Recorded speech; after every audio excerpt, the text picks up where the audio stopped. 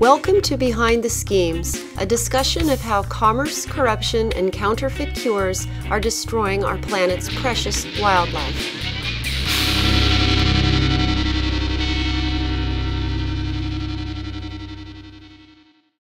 This is Rhishja Cota Larson with Behind the Schemes, and in this episode, we're talking about saving the one horned rhinos of Asia. Two species of rhinos have one horn, and both are found in Asia. The greater one-horned rhino is now found only in India and Nepal, and the Javan rhino, sometimes referred to as the lesser one-horned rhino, exists in just one population in Indonesia. Dr. Susie Ellis, Executive Director of the International Rhino Foundation, recently shared with us what IRF is doing to protect and increase the populations of these rhinos. The most recent rhino counts in India and Nepal brought some good news about greater one horned rhino populations. Can you tell us more about that? Oh, of course. We're all just absolutely delighted to see the numbers of these uh, this species just slowly increasing. Um, it's really it's really been exciting. In Assam, the numbers have gone up by a little more than 300, according wow. to the counts. Um, so in Kaziranga, the biggest population um, has gone up to almost 2,300 animals, which is phenomenal. They have they have a terrific growth rate. Um, and in Orang National Park, the numbers appear to have gone up from about 84 in 2009 to about 100 today. Um, that we're a little we're, we're, a little worried that some of the some of that increase might be due to the methodologies because that's a an incredibly uh, rapid rate of increase over a very short period of time. But nevertheless, the numbers are up, and so there's great reason to celebrate. Oh, yeah, that's fantastic. Mm-hmm. And then in Nepal, the numbers are have are an unprecedented number at five about 534 animals. Both countries are doing very well with these with this species. That's fantastic. And it, it seems there's a lot of bad news about rhinos these days, but what are India and Nepal doing differently? Well, they're doing a number of things. There's a lot of active management of the species in both places. They have been, uh, both countries have undertaken translocations when they're needed to establish new populations or to reinforce um, populations that might not have the genetic diversity that they need. Um, they also are very, very strict in terms of protection and prosecution of their national laws when they're violated. There are, um, most all the parks in India actually have a shoot to kill order within the park after dark, um, which serves as a tremendous deterrent to poachers. They also, um, we were just in um, in India, in the Assam, and visiting Orang National Park in December, and were shown some uh, camera trap photos that were um, taken of poachers who were caught who were you know caught on film in the park in the middle of the night. On film. Posted these in all the local communities and they were actually able to identify these guys and arrest you know which led to their arrest and prosecution. So um, they're very very proactive instead of being reactive. They're very proactive in terms of protection and enforcement. That's great. There's definitely something good going on over there. and speaking of uh, India, what is Indian Rhino Vision 2020? Indian Rhino Vision 2020 is a collaborative project. It's a partnership among the government of Assam, WWF India, um, International Rhino Foundation uh, with support from a number of donors, but in particular the U.S. Fish and Wildlife Service. Mm-hmm. It's a strategy to increase the number of greater one horned rhinos in India, in Assam, um, to 3,000 by the year 2020, and also have populations, uh, to ha- have at least seven populations within Assam. Right now, there are only four um, viable populations and one that's just being reestablished in Manas National Park. What what are the parks that don't have any right now that are going to have some as a result of Indian Rhino Vision 2020? Well, we've we've reestablished rhinos in Manas National Park. Um, uh, we've moved 18 animals in the past three years, which is a, a good start. We're actually uh, having discussions right now about increasing that number and moving more into Manas so we have a slightly more robust population there. But there's another park called Laokhowa that will be the next park to receive animals, and the, the biggest push right now is to get in there and do the habitat assessments to make sure the habitat is going to be adequate mm-hmm. and determine how many animals it can support and also to do security assessments to see what exactly the security needs will be and what security measures we need to put into place before it's safe to move rhinos there. Wow. What so far has been the biggest accomplishment in Indian Rhino Vision 2020? Well, I think it's just been reestablishing this population in Manas National Park, support of the government, and with the support of the local communities, and that includes the Bodo um, Territorial Council. Um, for those of you who might not know about Manas, it was it had a healthy population of rhinos, but it was destroyed in the late 90s and the early 2000s when there was um, rampant civil conflict fighting between the Bodo tribe, which is the local ethnic group, and mm-hmm. the, the, central government of India. So, and, and all the rhinos were poached out. The guard posts in the park were destroyed and things. Mm. There's, it was just, it, it, was a war essentially. Mm-hmm. Now, the Bodo Territorial Council, the Bodo tribe, is one of our greatest allies in bringing rhinos back. We've hired about 50 local guards, the uh, majority of which are, are Bodo people and so they're they're our active partners in terms of securing these, this population and helping it to continue to grow. And I think that's a that's a really big accomplishment. Oh, that's wonderful! I love that story. Wow. Well, thank you. I can't credit for it. It's it's all our partners. Um, everyone works together to, to to make it happen. What a good outcome there. And what have you found to be the biggest challenge faced by this project? Well, this is going to sound ridiculous, but the biggest challenge we have faced is getting the drugs in, to immobilize the rhinos prior to the translocations. Um, there's a drug called etorphine. It's also known as M99. M99 is used to immobilize the rhinos. And in India, it's all brought into the country in one batch. And so that means it all comes in at the same time and it all expires at the same time.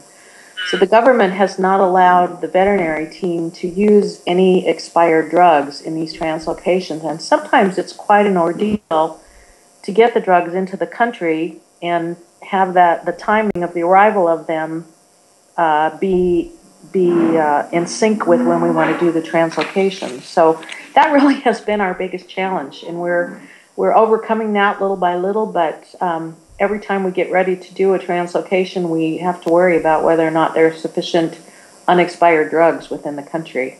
Hmm. Well, those are important for the rhinos to have a safe transport. So I could see where that could uh, could cause some problems waiting around for it. And then uh, moving on to the other species of one horned rhino in Asia, the Javan rhino, mm. we recently saw some footage that documented almost every single individual. So, can you tell us about the additional camera traps that have been provided by International Rhino Foundation and maybe what kind of footage we can be looking forward to? Absolutely. Actually, the camera traps that recorded the recent footage were donated by the Aspinall Foundation. Okay. UK. They were donated to the Ministry of Forestry. Um, but we have been working with WWF to provide more cameras so that every single area within the park can be camera trapped.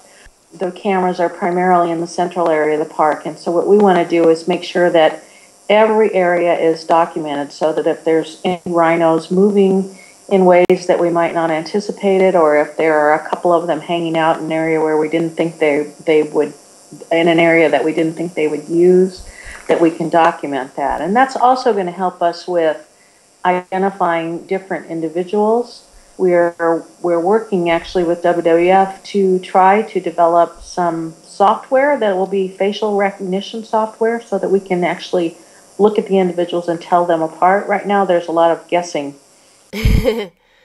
who's who. so we're very hopeful that we'll have we'll have more footage. We'll have footage of every animal. We'll know exactly where they are, and our work with um, our DNA work that we're doing, and we're collecting fecal samples and subjecting it to genetic analysis. Between that, which will give us information in terms of levels of inbreeding, who's related to who, whether they're mm-hmm. males and females, backed up by the camera trap data, should give us a pretty robust f- picture of what's going on with that population. So we're very excited that all this is coming together at this time. Oh, that is very exciting. And that footage was amazing. I mean, Javan rhinos meeting each other on the trail and kind of scampering, Javan rhinos scratching themselves. It, that, it was fantastic. It was just uh, one of the most exciting 10 and a half minutes ever. it was. And the babies. There were oh, the babies, yeah. That was so rewarding to be able to see them. Oh yeah, that was that was really great. I love that uh, clip. I've watched it a few times. Mm-hmm. and can you give us an update on Operation Javan Rhino?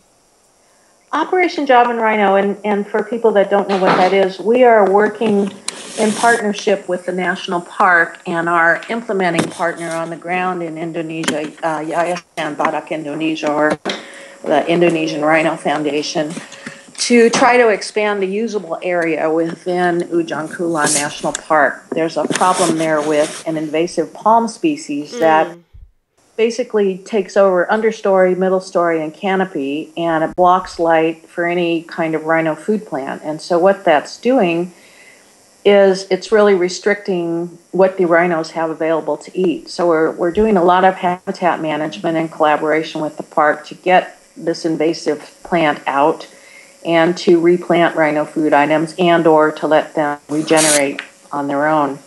Um, it's the project has been delayed a little uh, a little bit because of the need to build better relationships with some of the local communities and get them engaged and involved.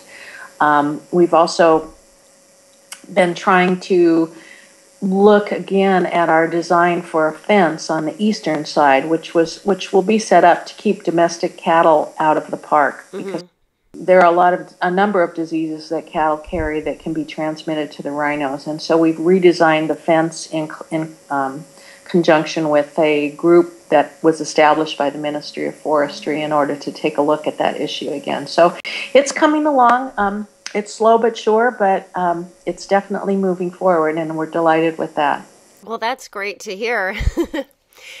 and greater one horn rhinos, which, as we talked about before, are doing really well right now, but they were nearly extinct at one time. Can you compare their situation with what is currently facing the Javan rhinos? Well, I'll try. Greater greater one-horned rhinos were down to uh, fewer than 200 animals at one time, and and so um, the government of Nepal and the government of India worked very hard to um, set up strict protection and protected areas so that those populations could grow. And as I said earlier, they also undertook a number of translocations among different areas. Mm-hmm. The situation with Javan rhinos is is different in that we're we're down to definitely fewer than 50 animals and probably closer to 40 animals right now. And we don't have any place else to put them right now that meets with government approval. Mm. And so, one of the next things we will be working with the Ministry of Forestry on is trying to identify a second site someplace in the species historic range where we can set up another area for them where we can provide adequate protection that has suitable rhino food plants, that has community support, or if they don't have community support, we'll try to build community support to have them in the area. Um, the situation with Javan rhinos is, is far more dire, I think, than yeah. was faced with the greater one horn rhinos. And we, I, I think probably the most important thing is that the world needs to communicate people who love rhinos need to communicate to the government of Indonesia that you know this is a species that's found nowhere else in the world. The population that was in Vietnam went extinct two years ago. Mm-hmm. We really need to encourage and support them to do what's necessary to make some really some risky decisions in order to save this species. We're worried about it because its A is in only one location. So if there's a disease outbreak or other kind of problem, it's really it could be very very uh, destructive to the species. And then it also sit the park where they live sits right below where Krakatoa used to be, and there's a new volcano, the son of Krakatoa, they call him Anak Krakatoa, that is erupting all the time, and so it's not beyond the the it's not beyond um, the scope of what could be that this volcano could also erupt and wipe out the park and you know there could be a resulting tsunami or you know who knows. So we're just trying to hedge our bets and set up an insurance population for them. Yeah and when you say risky dis- decisions that should be made by the government what can you go into those a little bit well it's um, a lot of times it's it's hard for governments to make bold decisions um, when it comes time to save an endangered species. I mean, let's look at the black-footed ferret, which was down to 18 animals. Let's look at the California condor that was down to very low levels. Um, a lot of times, governments tend to wait until it's so dire and it's so far gone that they have to invest millions and millions and millions of dollars in order to recover a species. And by the time a species reaches that point, there's not much room left for research, and there's certainly no room left for error. It takes a bold it takes a bold government or a bold agency to make those decisions while there's still time. And so we're trying to work with the government of Indonesia to encourage them to make these decisions before we're at the point where there's no room for research and no room for error. Mm-hmm. And we're not too far from that honestly. Yeah, I mean, with close to 40 animals, um, that's that's a very dire situation for sure. Yeah, scary. Yeah.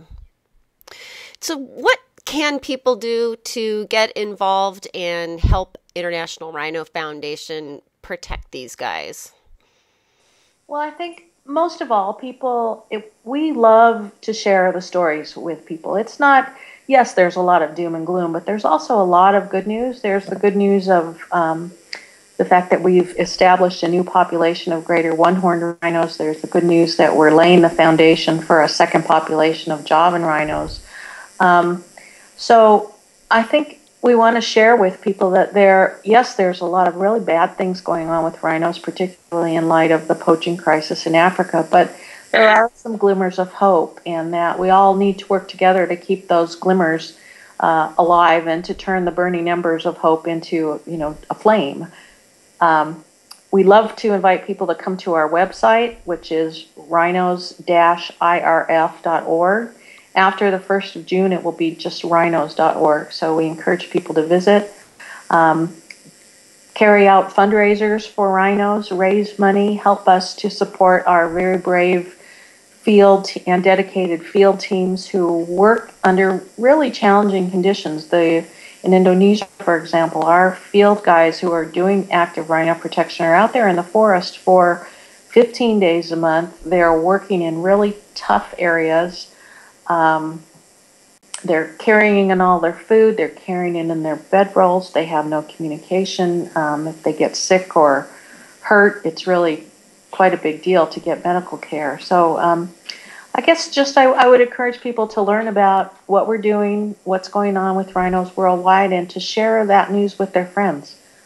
You know, get the word out. Hmm, for sure. Well, thanks so much, Susie, for spending time with us and also for giving us this good news about these rhinos we always want good news about them, and it does seem like there's a lack of that. But thanks so much for sharing the good news with us. Oh, you're welcome. I'm glad there is good news to share. for sure. You've been listening to Saving the One Horned Rhinos of Asia with Dr. Susie Ellis, Executive Director of the International Rhino Foundation. This is Rhishja Cota Larson with Behind the Schemes.